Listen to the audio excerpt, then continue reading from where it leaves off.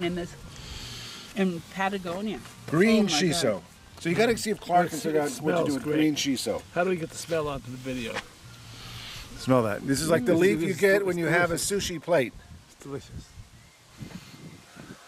See, this is what I want to give to the Oh boy, look at to the look at Mexican those colors. to the Mexican Oh, you, she just told them about about yeah, I your. told them. Okay, but you're, you're going to give those to Clark this time. Now look under here. This is important. Are you Chloe, listening? there's so much. Are you listening? Yeah. Those are snap peas, not to be shelled. Ah. You want to try one? They're even big. They're super tender. Oh my God.